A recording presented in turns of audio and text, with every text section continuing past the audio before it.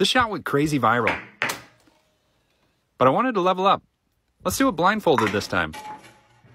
Now, I couldn't see anything. Not the disc, not the console. So we started off pretty rough. But eventually, I started honing in on it. Until the impossible happened.